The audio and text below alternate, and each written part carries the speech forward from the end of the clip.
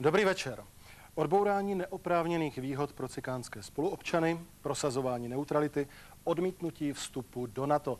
To jsou jen některé teze z programu republikánské strany.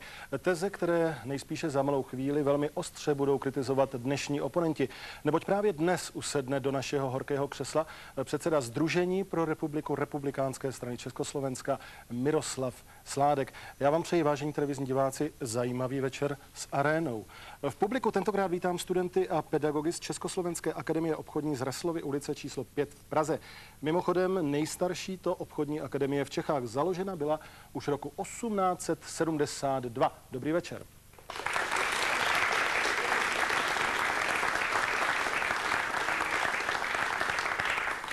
Naši nabídku zúčastnit se dnešní arény nevyužilo hned několik politických stran. A tak jsem velice rád, že mohu z parlamentních stran přivítat alespoň poslance parlamentu za občanskou demokratickou stranu Jiřího Pejna, kterého teď poprosím o úvodní slova. Dobrý večer. Nepotřebujeme český fašismus. Dobrý večer, pane poslanče. Pozvání se nerozpakoval přijmout ani předseda České strany národně sociální Miroslav Tampír. Přichází s tímto motem. Dobrý večer. I nejlepší myšlenka se dá zneužít, hlásal ji demagog. Je to vyhánění čerta ďáblem. Dobrý večer, pane předsedo. Dobrý večer. Za náš oponentský pultík se postavil i komentátor Rádia Svobodná Evropa Jefim Fištejn, který říká toto. Mám za to, že izolacionismus a xenofobie ze všeho nejvíce ohrožují právě českou státnost. Dobrý večer. Dobrý večer.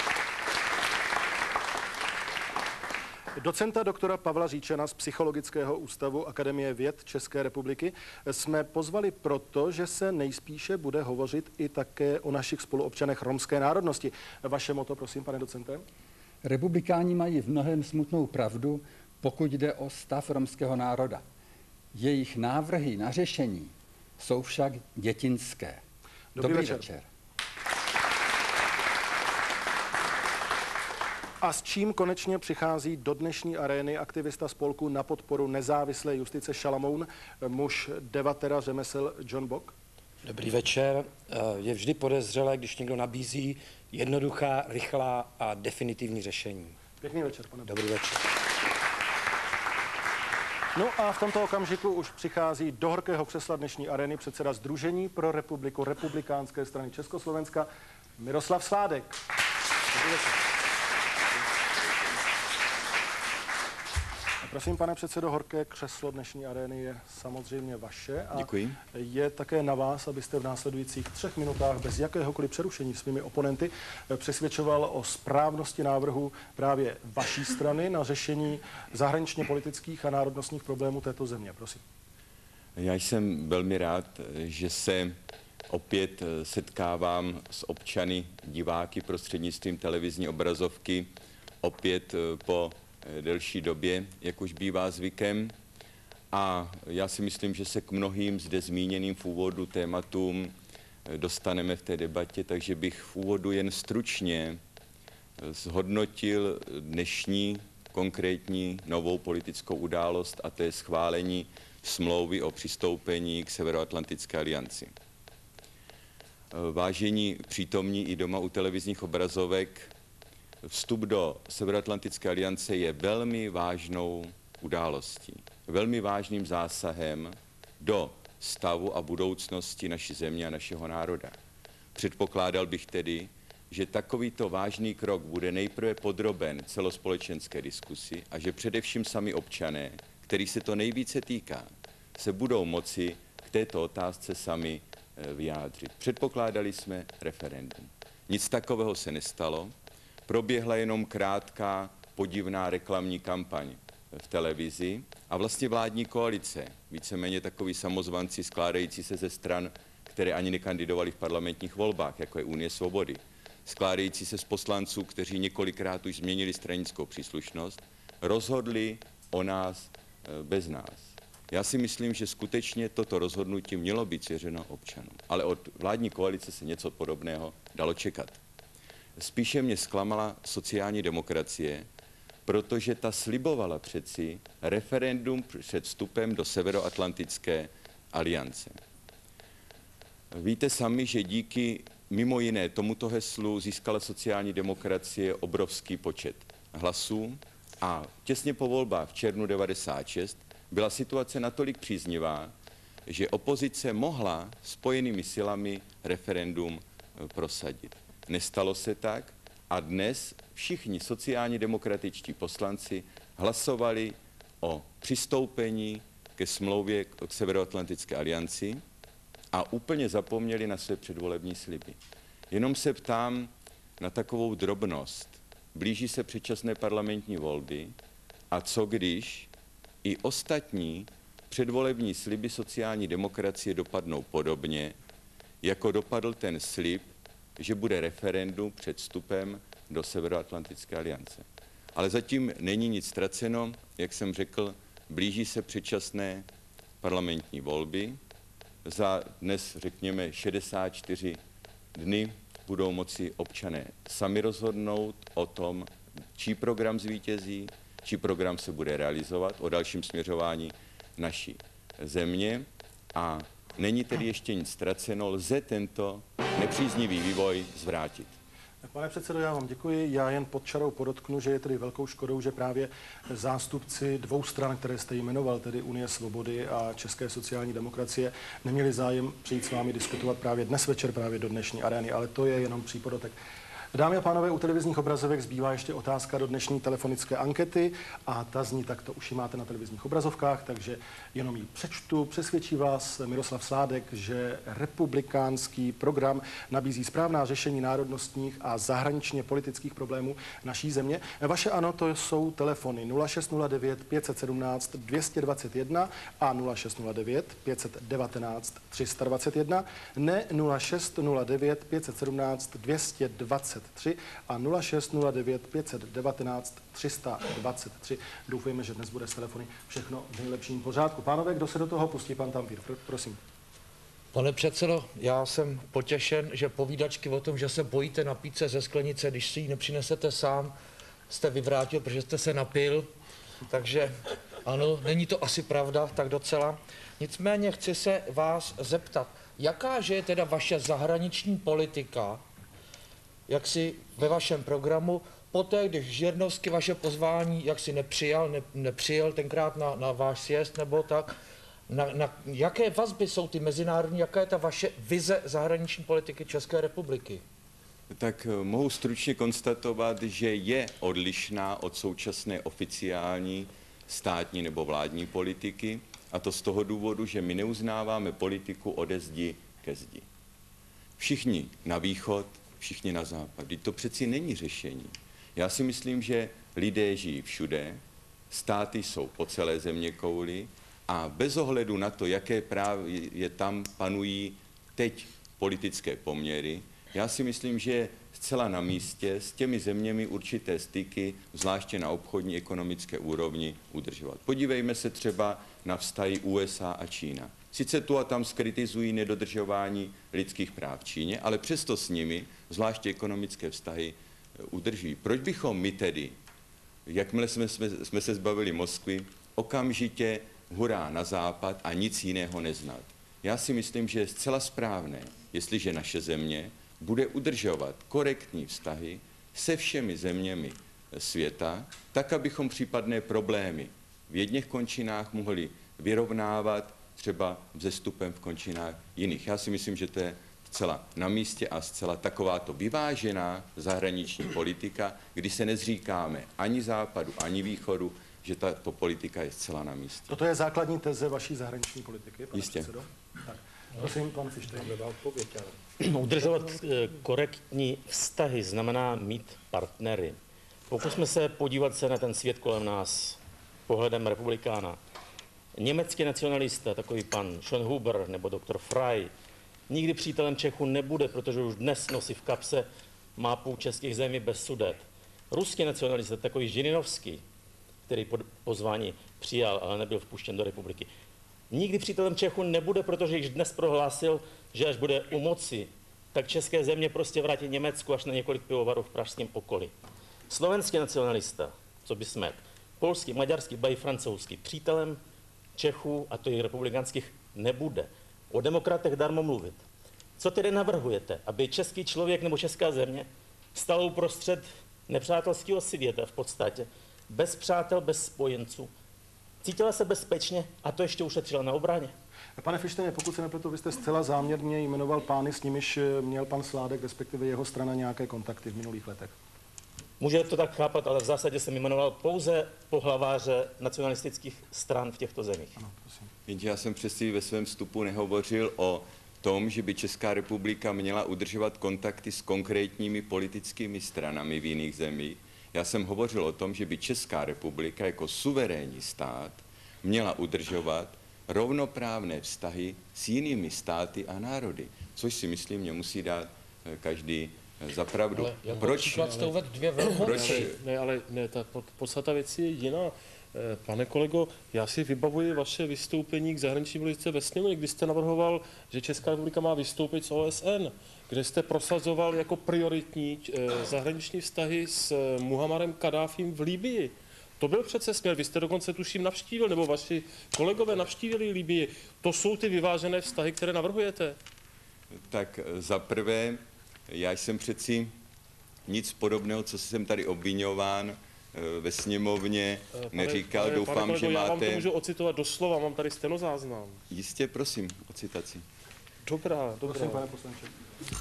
Dobrá, dobrá. E, vy jste tady, vy jste tady říkal, že e, jednak tedy jste navštívili Libii, je to pravda? Já jsem ji nenavštívil. A vaši kolegové navštívili Libii. A jestliže poslanci za republikánskou stranu navštíví Francii, Británii, Rusko nebo Libii, já si myslím, že není důvod se pozastavovat nebo zvlášť vyzvihovat některou z těch zemí. Teď oni navštívili i Německo. Tak. Oni navštívili i Maďarsko. Já bych možná, pane poslanče, si dovolíte, já jsem našel také citaci. V programu republikánské strany, ukáži za malou chvíli na kameru, ten program je vámi podepsán, pane předsedo, a tam se říká, prostředků v naší zemi je dostatek, stačí pouze a teď zamezit státnímu plítvání ve formě podpory bankrotářských OSN, UNESCO, Evropské banky pro obnovu a rozvoj Mezinárodního měnového fondu a podobně. A vyčíslujete to částkou 10 miliard, kterou bychom mohli získat z roku 96. Já to tady prosím ukážu. 10 miliard čeho? V pořádku, Korun. já, já tady s tím naprosto, naprosto souhlasím. Přeci to, že suverénní Česká republika bude udržovat rovnocené vztahy, to ještě neznamená, že musí být členem kde jaké organizace. Víte přeci nejlépe, OSN že nejvíc jaké? kritiků má Organizace spojených národů právě ve svém sídle, v zemi, tedy svého sídla, ve Spojených státech amerických, kdy tam je přeci nejvíce i v kongresu kritiku OSN. Víte také, že Spojené státy americké nechtějí přispívat na činnost Organizace spojených národů právě proto, že to je naprosto neúčinná organizace, kde vlastně obrovský byrokratický aparát plítvá prostředky, které tam přispívají členské země.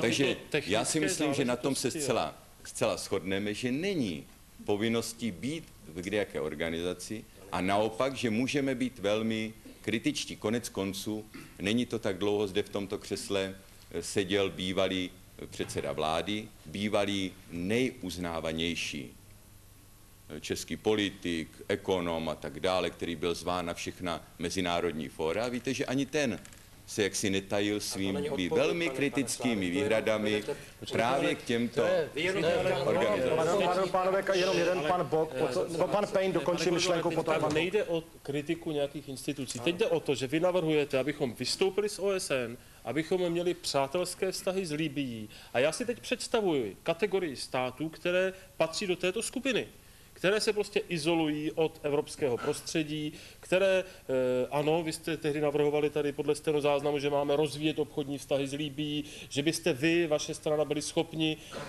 vymáhat pohledávky, které vůči Libii máme a podobně. Eh, Na tom chcete založit naší politiku? Vy chcete dostat Českou republiku do takovéto izolace? Pane poslanče, při vší úctě k vám jsem před několika minutami tady řekl, že chceme udržovat rovnocené vztahy se všemi zeměmi světa. A vy mě tady neustále podsouváte jednu velmi malou zemi, která, která konec konců má asi jenom 3 miliony obyvatel a rozhodně není významná. Já jsem tady schválně hovořil o dvou významných státech, a to jsou Spojené státy americké a Čínská lidová republika předsedo, s velmi rozdílnou politickou Ne, situací, s velmi rozdílnými názory na další vývoj světa a přesto chyba. víte, jak velmi jemně američtí představitelé kritizují nedodržování lidských práv v Číně, protože nechtějí svým podnikům skazit velmi perspektivní ekonomické eh, vyhlídky. Takže vy stejně tak navrhujeme udržovat rovnocenné vztahy se všemi zeměmi světa. Já si myslím, že Pánové, co kdybychom opustili tuto spíše akademickou diskusi o zahraniční politice, byli konkrétnější k NATO a dalším velmi konkrétním otázkám? Takovýchto institucí. Nicméně, kdyby například nebylo OSN, tak eh, poslední skutečností bylo, že kdyby za OSN nebylo eh, delegováno do Iráku hlavní, hlava OSN, kdo ví, jak to dopadlo a možná, že byla válka. Tady Vraťme vidíte se domů, pane příkladně, Boku. prosím, Vraťme se domů do, ne, do já, já jenom chci ukazovat na tyhle ty věci, že takhle se můžeme dostat do podobné situace. Ne- Nedávno byla Jugoslávia, pořád jsou tam ty problémy. Co my víme, co nám přinese příští tisíciletí? Co my víme, jak, jak se bude chovat Ázie, jak se bude chovat Afrika? Já netvrdím, že musíme být vždycky nějakým paktu, ale určitě jako malá země nejsme ani Čína, ani Spojené státy. Oni jsou velké dvě bilapolární země, které mají co říkat do světové politiky a jsou i ekonomičtější, eh, ekonomicky daleko silnější. A vy nám chcete srovnávat s nějakou Amerikou nebo s Čínou a s nějakými přátelskými jakýsi vztahy. Navíc já tvrdím, že je proti přirozenosti, pane Sládek, nebo vy byste přece taky nechcete kamarádi, tak ty říkáte s cikánama, já tedy Romám a protože já si myslím, že cikán je něco špatného, ale uh, vy tomu dáváte takový ten aspekt trošku urážlivě, tak já to nebudu užívat a budu říkat Romové. Ale vy taky se nechcete kamarádi, pro vás jsou něčím jiným, takže vy tvrdíte, že patří někam jinam, tvrdíte, že desetiletí děti už by měly být vlastně normálně pod zákonem de facto trestaný jen protože jsou cikánama. Takže vy si sám protiřečníte, když tvrdíte, že budeme se vším kamarádama, a ve vlastní zemi nechcete být kamarád se svými spoluobčany, kteří třeba něco porušují, ale vy ne, protože by něco porušovali, protože jsou cikáni. Já Jsme si se dostali k myslím, důležité otázce, prosím. já si myslím, že si naprosto rozumíme eh, tady z toho, že jsme rozuměli naprosto tomu vystoupení předřečníka, protože to spojilo několik velmi důležitých a samozřejmě velmi spolu souvisejících otázek OSN, Severoatlantická aliance, až jsme se k tomu dostali k našim domácím eh, problémům tak eh, zcela jednoznačně v uplynulých desetiletích se ukázalo, že Organizace spojených národů, ačkoliv bych byl nerad, aby se celá naše debata nášla jenom tímto směrem, ukázala se tato organizace jako naprosto neúčinná. Víte konec konců, že v té Bosně zde zmíněné nebo v bývalé Jugoslávii zasahovala nakonec eh, aliance a to ještě teprve v době, kdy vlastně už ta válka končila kdy tam už ta nejhorší zvěrstva měli občané za sebou, kdy se tam všechno vyvraždilo, rozbilo, tak teprve tehdy do toho zasahovali a ještě podle mého názoru jen a jen ze zjištných cílů. Tak, pánové, já navrhuji, máme za sebou třetinu diskusního času, zkusme otevřít téma Romů, Já pane tady mám docente. takový konkrétní dotaz na pana předsedu. Rád bych se zeptal, jestli jste si už zjistili počet romských dětí v dětských domovech a co pro ně hodláte udělat, aby z nich vyrostli slušní lidé. Tak za prvé, já se přiznám, eh, vážený eh, pane, eh, k jedné věci, že hodně pečuji o náš krásný mateřský jazyk.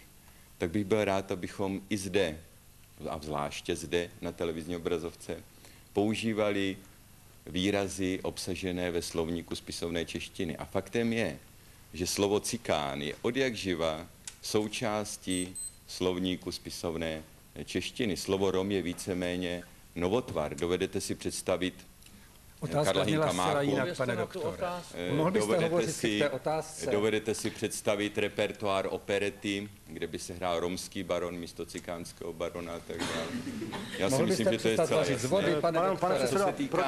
Ano, ano. Eh, Co se týká eh, dětských eh, domovů, eh, které jejíž osazenstvo je- se převážně skládá tedy eh, z cikáňat, abych to tak eh, řekl.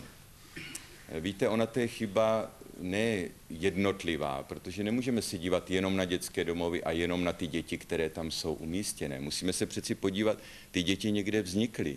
Ty děti někdo, ty někde, dělat? ty děti někdo odložil. Tak řekněme, začněme nejprve řešit od- komplexně odebrané. Stát se o ně komplexně stará a odebere rodičům, které neplní svou povinnost a které právě nenab- nenabízejí to, aby se ty děti mohly stát řádnými občany tohoto státu. Takže stát přebírá zodpovědnost. Vy, když byste chtít tedy normálně tento stát reprezentovat, tady se vás pan kolega ptá, jak to hodláte řešit. Vy mluvíte úplně o něčem jiném. pane začínat od dětských domovů a dětí, ale začneme od celé cikánské populace přeci. Tam je nutné začít. Nejprve tedy vzdělat nechme, nechme, Chcete-li předělat společnost, jako třeba ve Spojených státech se začalo pracovat a, a asimilaci černochů, bylo to, že se jim nabídlo a hlavně dětem, že se normálně budou vzdělávat, že budou mít šanci se asimilovat. Pe- Co si budeme povídat, většina rodin nejsou schopni toto nabídnout. V tomto případě, vy, který tedy reprezentujete tento, chcete říkat, že budete dobrý stát a že jste dobrý občany, i cikáni jsou občani, jak vy říkáte. Já tvrdím, že tedy v tom případě vy jako stát máte povinnost i vůči těm dětem. Jestliže oni jsou handicapovaní a oni handicapovaní jsou, protože to zane, zaneřádil komunistický režim. Komunistický režim po dobu 40 let, kterého se byl taky součástí, normálně nedbal na cikány. On sice jakoby zvýhodňoval, ale nedbal na ně. Nešlo mu o vzdělávání těchto lidí. Nešlo jim, aby se normálně asimilovali do společnosti, aby ča, část se dostala normálně tam, kam patří. Tak jako ve Spojených státech, kde máte nemalý počet lidí, nejen černochů, ale Pane různých, Boku, který... prosím, já jenom si necháme, necháme už odpovídat. já jenom chci, aby pan eh, Sládek odpovídal na otázku. On neodpovídá, on uniká někam do ztracena a užívá jenom omleté fáze, fráze. Kde, kde pak? Já si myslím, že když řeknu, že, eh, že když chceme řešit problémy cikánských dětí, tak se musíme podívat na problémy celé cikánské populace. To přeci není žádná fráze. A vymlouvat se, kolik je to let? 8 let, 9 let od listopadové revoluce? Vymlouvat se na, vymlouvat se na komunistický režim, když přeci teď do natálního věku vstupuje generace, řekněme, cikánů, kterým v, tě, v té době komunismu bylo 10, 11 let. Tak Pane předsedo, přeci čili- to pardon. ještě tady, jak dlouho ta komunistická Jak takzvaná jak devastace řešili teda, nebo jak, bude, Vy neodpovídáte. jak dlouho ta, neodpovídáte. takzvaná komunistická devastace bude ještě se zde promítat přeci. Dlouho. Jestliže to je už. 8 let, tak já si myslím, že to, je, že to je zcela jednoznačné. Už ta populace nebo ta generace cikánů, kteří dneska vstupují do toho natálního věku, přeci měla dost času se zorientovat v nových podmínkách, v nových politických, společenských podmínkách a mohli se tomu e, přizpůsobit zcela jednoznačně. Já jsem byl teď upozorňován občany, abych tady vzpomněl třeba občany Libně, e, Karlína, Žižkova, Já jsem občan kteří tady s tím, eh, tady s tím musí samozřejmě, eh, samozřejmě žít a s těmito problémy se potýkají Dobře se s nima žije, pane Sládek, dobře. Těm dětem v dětských domovech pr- první na prvním místě je vzdělání, ale to nemyslím jenom vzdělání, co se týká školy, matematika, český jazyk a tak dále, ale vzdělání komplexní, to znamená chování, vystupování, znamená to například i chování se u stolu, že takovým těm základním návykům, jak bez kterých vlastně, učit? Bez kterých vlastně ten život v lidské společnosti ani není e, možný. No, jak je to hodláte učit? celou, podíváme se na celou cikánskou populaci samozřejmě, tam přehodnotíme mnohé i ty sociální dávky a tak dále. Je docela možné, že poté i stoupne počet eh, cikánských dětí v dětských domovech a tam samozřejmě se, by se s nimi mělo zacházet tak, jak by měla ta náhradní rodičovská péče platit, ovšem, nebo vypadat. Ovšem problém je v tom, že eh, v tom dětském domově přeci je plno vychovatelů, kteří se jistě z celého srdce snaží, aby těm dětem předali to nejlepší. Ale ty děti potom ve 14, v 15 výjdou z dětského domova dětském a udělají, udělají přesně to stejné, co dělali jejich rodiče, ačkoliv mnozí z nich třeba ani ty rodiče nepotkali, takže ty problémy budou pravděpodobně. Není to pravda. Já bych Já bych si, pardon, pánové, než, než dám slovo dalšímu z oponentů, já bych si dovolil jednu podotázku spíše, eh, pane předsedo. Eh, Vám nevadí, když používáte slova cikán, eh, že naše občany romské národnosti to slovo uráží, že je považují za pejorativní? Tak za prvé, jak jsem řekl, držím se slovníku spisovné češtiny, to já si myslím, že je pro nás priorita.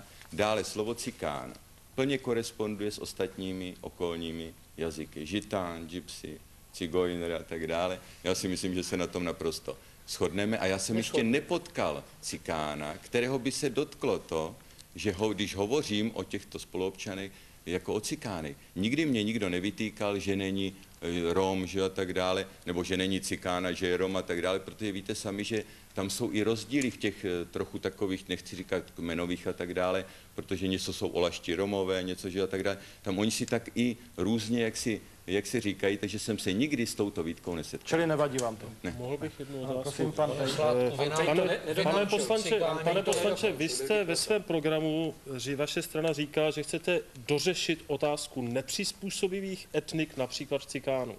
Vy tady slibujete, že to chcete dořešit, ale na otázku, co chcete dělat, nedovedete odpovědět nic konkrétního. A když hledám ve vašich výrocích, co tedy slibujete, tak vy jste řekl, cikáni by měli být trestně odpovědní už od narození, protože prakticky to už je jejich největší zločin. A tohle je věta, která je na úrovni norimberských zákonů. Na tomhle byl postavený německý fašismus. Že se měřilo, kdo má jakou rasu. A některé rasy byly méně cené. A vy tady říkáte, že takováto kritéria chcete uplatňovat. Vážený pane poslanče, kdybyste citoval celé moje vystoupení v parlamentu, tak byste musel konstatovat, že jsem v parlamentu řekl jenom to, co mi občané řekli na náměstí. Od kdy poslanec nemá právo veřejně říct to, co se mezi lidmi eh, povídá. Tak, jak občané mluví se mnou, tak já samozřejmě jsem povinen pravdivě informovat o skutečných názorech, které mezi občany jsou. To je první věc. A když jste se ptal na ta konkrétní opatření, tady zatím nebyl dotaz na konkrétní opatření, zatím jsme se bavili jen o dětech a dětských domovech. Dát jim samozřejmě plnou péči, ale když chcete konkrétní opatření vůči, řekněme, cikánské populaci, kdybych to nerad jak si rozlišoval, jsem toho názoru, že na všechny občany by měla být uplatňována stejná kritéria, stejná pravidla hry. Jestliže normální občan třeba by si zaplatil dovolenou cestovní kanceláři a ta by mu zkrachovala, tak se o něho nikdo nepostará. Jestliže cikáni tady prodají majetek, odjedou do Francie, přestane je to bavit, tak pro ně vláda pošle buď speciální letadlo nebo nějaký speciální dopravní prostředek, přiveze je zpátky a po návratu jim přidělí nový byt. Tak to by se chovala vláda k ostatním občanům. Vezměte si třeba sociální dávky. Vždyť většina cikánů, jak jste tady sami pánové přiznali, nepečuje zdárně o svoje Neřekli potomky většina, a to přesto, jste řekli, nikdo to neřekl většina. Přesto- Říkáte demagogy, nikdo neřekl většina. přesto eh, cikánští rodiče pobírají na svoje děti přídavky na děti, ačkoliv většinu z nich potom spotřebují na úplně jiné Víte- účely. Proč se na to nepodívat? Další věc. Při ve svém platu, pane, In, pane eh, invalidním poslanče. důchodu je Ne, no, mnoho to to cikánů. Tohle není, to není Ačkoliv je jasné, To že mnozí jsou také zdraví, zdraví, vyloženě jsou zdraví, jak téze, vy neodpovídáte, vy tady děláte Zdraví, jak- volební kampaň, to jak mě nezajímá vaše volební kampaň. Vy jedete jenom volební kampaň, já bych rád slyšel odpovědi, já jsem přišel se vás zeptat a dozvědět se něco, já se nic nedozvídám, já se dozvídám jenom dlouhé monology, plné prázdných řečí. Vás mohu informovat o tom, co mi řekla jedna sociální pracovnice, že totiž já jsem na mítinku hovořil o tom, že většina cikánů od 18 let je v invalidním důchodu a tak dále. Ona mě opravila, že to není pravda, že mnozí jsou v invalidním důchodu dokonce už od 14 let. A přitom zdravotní stav cikánské, zvláště cikánské populace, já si myslím, že je velmi dobrý. Čili chtěl pan stejná kritéria pro všechny občany. ano. Pan Fištejn, prosím. Nejdřív, než, než eh, to vyústí v dotaz, chci říct, že já jsem na sobě, pane doktore, poznal milost vlidného přijetí ze strany Čechů a tvrdím, že Češi rasisté nejsou a hrubě nesouhlasím s intelektuálními krasoduchy, kteří se snaží nasadit Čechovi psí hlavu rasisty. Je to reálně existující problém, je to problém sotva vyřešitelný mravními apely, je to problém, který existuje všude. Ale právě proto, že to chápu jako reálně existující sociopsychologický problém, tak tvrdím, že není ani řešitelný nemravními apely. A to, co tady říkáte, jsou v podstatě apely velice nemravní. A když už tvrdíte, že byste ty cikány, jak říkáte, já, eh, budíš mi moje nespisovná čeština odpuštěna, eh, říkám Romy, tak eh, když tvrdíte, že je budete vychovávat, tak co s nimi vychovanými uděláte? Vezmete je do své strany, vezmete je do vlády, vezmete, je- vezmete je... Už teď je pár vychovaných, velice vzdělaných cikánů. Proč nejsou u vás třeba? Tak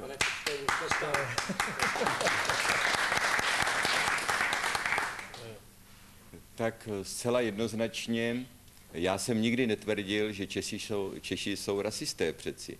Tady to naopak, to zaznívá třeba od ministrů eh, vlády tady to. Já jsem přesvědčen o tom, že v naší zemi nebují rasismus, ale naopak rasismus na ruby. A co se týká eh, cikánů například, tak eh, já vám musím, já musím konstatovat jednu věc, že třeba na letních dětských táborech, které sponzoruje republikánská strana, se pravidelně rekreují i cikáňata.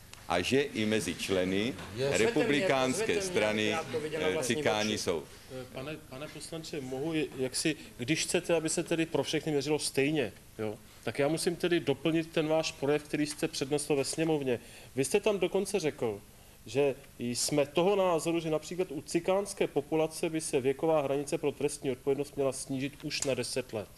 To je čistý projev rasismu. Je. A teď se nevymlouvejte na to, že jste kohokoliv citoval, protože to jsou vaše autentická slova. To jsou vaše autentická slova.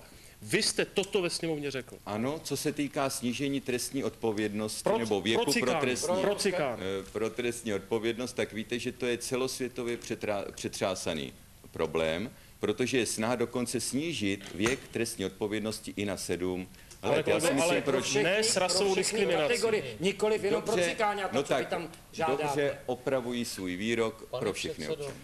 Pan Svého času jste velice slavně vstoupil do jistého pořadu České televize nebo televize Nova a prohlásil jste, já si myslím, že se tu něco děje a vy tady tlacháte. Tak to je přesně to, co děláme teď s váma. To, co vy tu předvádíte, to je to, co vy jste kritizoval. Takže já vám dám konkrétní otázku. Vy se cítíte, vaše strana, jak si být povolaní k tomu hájit národní zájmy České republiky, vy byste radši Československa, že jo? Eh, já sleduji váš program a je to proti NATO, proti evropské, proti cikánské, proti komunistické.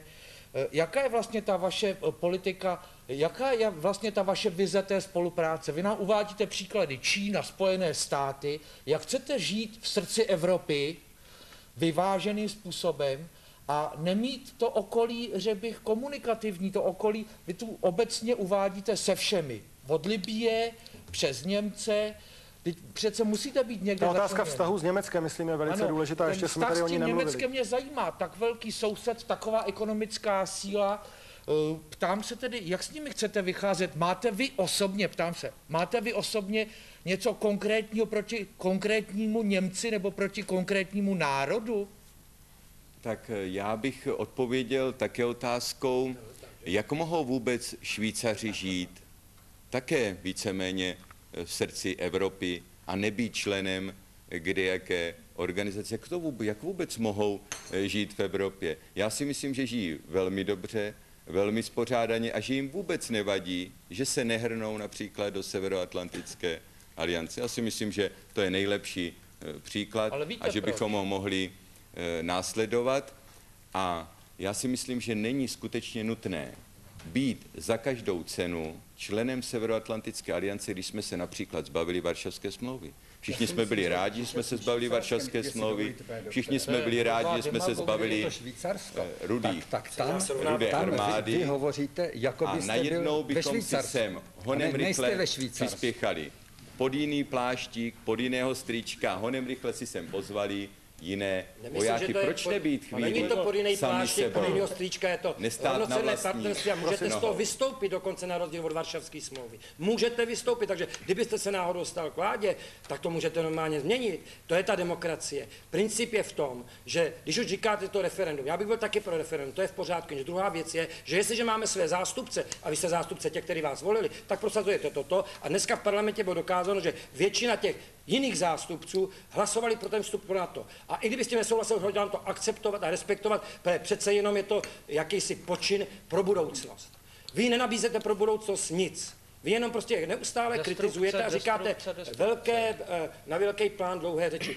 Jednotlivý kolega tady můj vám klade otázky a vy jste na jednu od- jedinou otázku za dnešní večer neodpověděl. Já bych měl jenom No, Hodnocení pana nejspíš, Boka. nejspíš to, že se vám zdá, že jsem neodpověděl, bude spíš tím, že mě dostatečně pozorně Velmi pečlivě, pane. Pane, pane kolego, já vás poslouchám. Jo. Eh, Na jednu stranu, když jsme začali mluvit o OSN, tak jste si stěžoval, že vás tlačíme k jednomu tématu a že to chcete brát obecněji. Teď byla konkrétní otázka na Německo a vy utíkáte k OSN. Je to půvabná taktika. Já to samozřejmě oceňuji, ale je to svým způsobem podle, přiznejte to. Pánové, je vás tady, je vás tady šest překřikujete Pět, se pět. ne, Pět, pět, dohromady. Jste šestý, jste šestý. Prosím vás, tak to i- počítám i, počítám i redaktora, ještě počítat umím na rozdíl od mnohých stran vládní koalice. Takže vás tady šest, překřikujete se jeden přes druhého, no tak snad, aby se dostalo postupně. Nejprve jsem reagoval tady na pana místopředsedu, teď si nemohu přesně vzpomenout, ne na jméno bych si vzpomněl, ale spíš tu stranu, stranu eh, významnou na politické scéně. A můžeme se dostat samozřejmě i třeba eh, k, tém, k té otázce Německa. Víte, že eh, byla podepsána česko-německá deklarace a že v těchto dnech je v televizi velká kampaň na téma konečně naše oběti druhé světové války se dočkají očkodnění. Ono by to bylo hezké, někdo 30 tisíc, někdo 40, někdo 50 tisíc. Je tady ale jeden velký problém. To očkodnění dává nejenom německá strana, ale i naše. To je společný česko-německý fond, takže my očkodňujeme oběti druhé světové války, nacistické okupace, právě tak jako Němci. Není tam trochu nerovnováha? Víte, že eh, předseda toho prezídia eh, Fondu budoucnosti konstatoval, že ve fondu je málo peněz, takže obě vlády tam budou muset znovu přispět. A co říci třeba na to, že ti, kteří byli totálně nasazeni, a bylo jich podstatně víc než těch, kteří prošli koncentračními tábory, tak ti do dneška nedostali nic a dokonce se ani nevede debata na téma, že by i tyto oběti Německa, nacistického Německa a druhé světové války měly být očkodněny. Takže co co pak my jsme Co útočník ve druhé světové válce? Co pak my jsme agresor ve druhé světové válce? Co pak my nejsme oběť? Zcela jednoznačně. Německo se nám mělo omluvit za příkoří způsobená ve druhé světové válce a Němci měli vyplatit nám veškeré očkodnění za škody způsobené druhou světovou válkou, včetně individuálního očkodnění, jak pro oběti z koncentračních táborů, káznic, tak samozřejmě totálně nasazené. To neudělali a nakonec my minimálně z poloviny očkodňujeme svoje oběti druhé světové války. Takže Je to Pane, spravedlnost. pane Pejne, chcete reagovat? Tohle je, tohle je, věta, to je požadavek, ze kterého vy byste v žádném případě neustoupil. Je to tak? Mám, máme tomu tak rozumět, že prostě vy byste v politice vůči Německu položil tento požadavek na stůl a jinak byste se s nimi nebavil. My bychom se řídili třeba příkladem sousedního Polska. Vzpomeňte si na to, že před lety, když bylo takzvané jednání 4 plus 2, čili když se Německo chtělo sjednotit a potřebovalo požehnání velmocí, tak se Poláci do tohoto jednání zapojili a vymohli si eh, náležité očkodnění. Tehdejší náš ministr zahraničních věcí, pan Dinsbier, prohlásil, že my se nemusíme účastnit jednání 4 plus 2, protože Němci jsou tak hodní, že nás očkodní sami od sebe. Výsledek, já si myslím, že je zcela, že je zcela jasný a nejlépe se o tom přesvědčili sami oběti se druhé světové války. Jestliže chceme jít Jestliže chceme jít do budoucna, tak nejprve musíme vyrovnat všechny účty z minulosti a potom teprve můžeme jako rovnocení sousedé, suverénní státy, suverénní národy do budoucna Budeme-li tedy spolupracovat. důslední, Ale bez toho, tedy i to, aby, aby židé dostali veškerou satisfakci a pokud to nebude tak, a to je vlastně k nezaplacení, jak si umíte představit vůbec, jakým způsobem by se třeba Německo, ne v Izraeli, ale židovským občanům našeho státu mělo jaksi oškodnit, protože takové příkoří a takovou hrůzu je přece neočinitelné. Tam spíš jde o gesto, protože to nikdy nemůžete zaplatit. Lidský životy, kulturu, která vlastně skoro byla vymizelá ze střední Evropy. A jsou to vaši kolegové, kteří opět používají si straničtí kolegové, kteří užívají antižidovské téze a odvolávají se i na, na lidi, kteří, kteří vlastně tuto, tuto, eh, tuto ideologii prosazovali. To není nic, to je v tom plátku, který vy vydáváte a který je váš stranický plátek, tam se opakovaně ozývají xenofobní záležitosti vůči cikánům, židům, etc. Mluvíte-li tak, to znamená, že byste nejenom tedy občany české, ale vůbec občany České republiky, bývalé československé, hájil ve smyslu, že by měli dostat to oškodné, včetně židů tedy, pane Slávek. všichni občané České republiky poškození za nacistické okupace by měli dostat očkodnění. Já si myslím, že na tom se shodneme naprosto. Ale do jaké míry? Jako, jako, Pane, jako pane Slávku, výšku? nechtěl byste reagovat na to, co řekl pan Bok, že ve vašem týdeníku, v týdeníku vaší strany eh, se objevují eh, Protižidovské různé a protižidovské, xenofobní prostě téze. proti, eh, romské výpady? Týdeník Republika vydávala republikánská strana. Problém je v tom, že sněmovna kdysi dávno schválila zákon, podle kterého nesměly politické strany tiskoviny vydávat. Tehdy jsme jak si odstoupili od vydávání týdeníku Republika a není to orgán republikánské strany. Píšou tam naši kolegové straničtí. Nemáte s tím nic. Navazují na politické noviny Republika. No, navazují, navazují, ale neviní vydavatelem republikánská strana. Já si myslím, že to je zcela jedno. Záhlaví citace. Čili nemáte s ním nic společného s tímto týdeníkem. Republikánská strana není vydavatelem týdeníku Ano. eh, Republika. Jestliže do ní, jestliže, jestliže do ní přispívá kterýkoliv občan, no tak samozřejmě to je jeho věc. Pan Fištejn už se dlouho hlásí. Máme poslední čtyři minuty dnešní arény, prosím. Kdo by, Pane něco, Fištejne. kdo by co namítal proti tomu, aby totálně nasazení taky byli odškodněni? Je to teze, která zní, která zní líbivě, ale k čemu by vedla ve skutečnosti? V Polsku zaprvé totálně nasazení, kterých byly miliony, nedostali odškodnění. Těch 30 až 50 tisíc korun českých, které jste zmínil, a které dostane těch 8 tisíc po většině židů, ale také jiných z koncentračních táborů, to, jak jistě chápete, je částka symbolická. Čistý symbol. Za 30 až 50 tisíc nemůžete vykoupit to utrpení a s- smrt lidí. Ale když podmíníme vyplacení aspoň těchto 30 nebo 50 tisíc vyplacením odškodného pro totálně nasazení, pak přijdeme k tomu, že těch 8 tisíc zemře, nedostane vůbec nic. To pokladete za správné?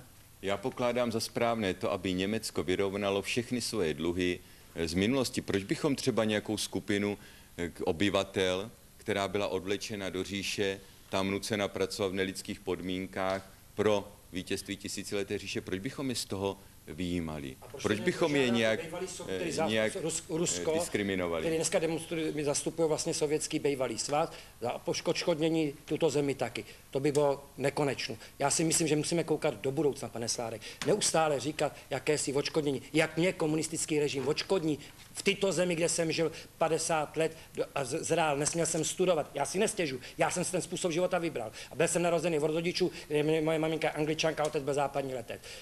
Já jsem prostě reálný člověk v reálném prostředí. Jsou věci, které nemůžeme změnit, kdyby jsme se zbláznili. Vy mi vykládáte o Polsku. Polsko, ať se vám to líbí nebo ne, je větší země než naše. To znamená i politicky v Evropě bude vždycky trošku hrát jinou roli než my.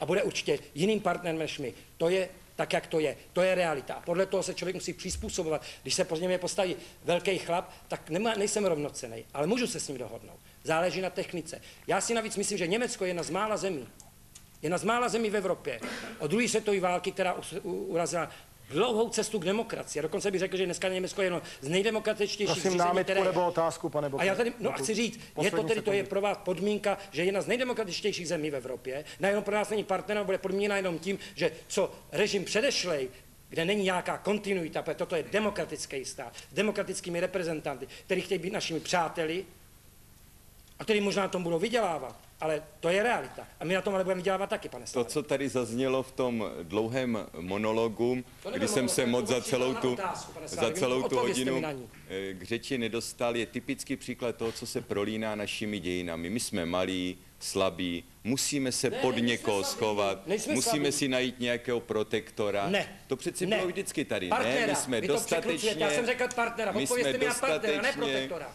my Pane Boku, pane Boku, prosím, necháme poslední věty.